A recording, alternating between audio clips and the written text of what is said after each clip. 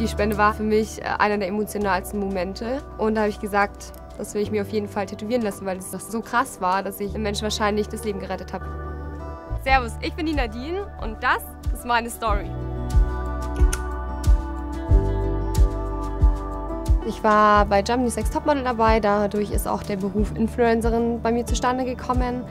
Und es war eine sehr aufregende Zeit, eine sehr prägende Zeit, aber auch super, super anstrengend.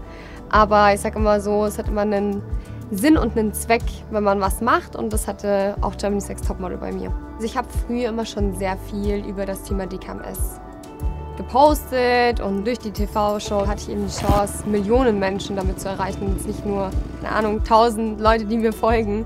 Und da habe ich mir gedacht, das ist das Sinnvollste über so ein Thema, was viel mehr Präsenz hat, also verdient hat in den Medien, über so ein Thema zu reden.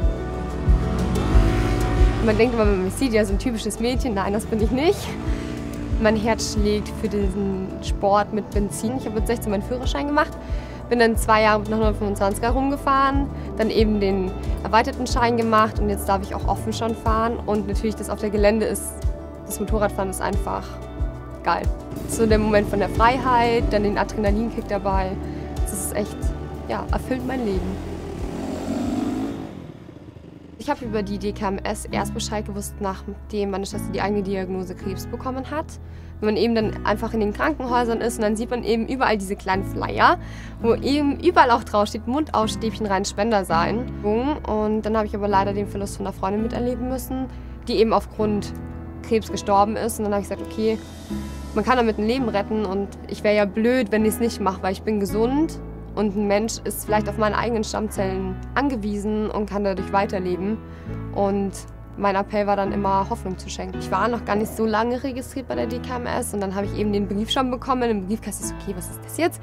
Habt ihr natürlich voll euphorisch aufgerissen, um zu gucken, was drin steht. Und dann steht da halt drin, dass es sein könnte, dass ich einem Menschen eine zweite Chance gebe.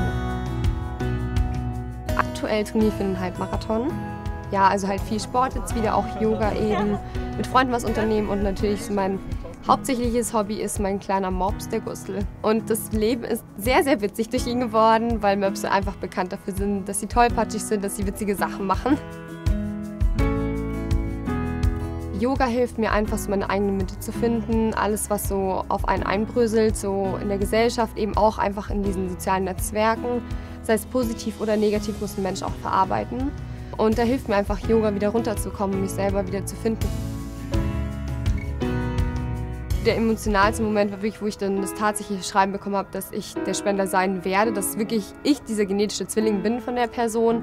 Ähm, das war so dann, okay, krass, ähm, ich habe jetzt wirklich die Chance, einem Menschen eine zweite Chance aufs Leben zu geben. Ich habe tatsächlich an der Entscheidung, ob ich Spender werden möchte oder auch, dass ich jetzt wirklich spende, nie gezweifelt weil es für mich so ein Thema ist, ich bin gesund und ich kann mit meinem gesunden Körper etwas spenden, kostenfrei, ohne irgendeinen Aufwand. Und ein anderes Menschenleben zu retten, ist für mich Prio Nummer eins.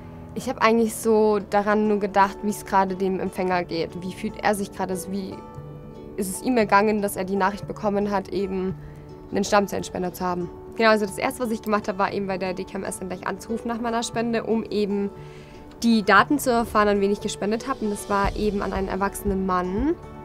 Und zwar nach Kanada. Ich habe mir mein Datum, wo ich gespendet habe, in meinen Nacken tätowieren lassen. Ich habe ein paar Tätowierungen, zwar noch nicht viele, aber die haben extreme Bedeutung für mich. Also mein Leben hat sich in der Hinsicht einfach geändert, weil ich behaupten kann, ich habe was gemacht, was nichts mit mir selber eigentlich zu tun hat, was nicht für mich gut war, sondern was einfach einem Menschen einfach wieder Hoffnung gibt, so am Ende des Weges. Das war meine Story. Du möchtest mehr Stories hören, dann einfach hier oben draufklicken und du möchtest dich registrieren, dann hier unten.